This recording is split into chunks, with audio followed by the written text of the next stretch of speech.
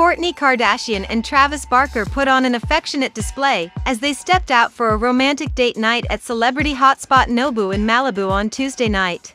The lovebirds, who began dating around December 2020 after more than a decade of friendship, were seen holding hands as they arrived to the restaurant for dinner. For the occasion, the 42-year-old reality star rocked a pair of yellow and black marble trousers, a long black coat and matching tank. She styled her dark brown hair in loose waves and sported a natural makeup look, which included a nude lipstick, mascara and foundation on her glowing skin. Meanwhile, her boyfriend sported a white tank top, which showcased his expansive tattoo collection, black skinny jeans, a beanie and a pair of Converse sneakers.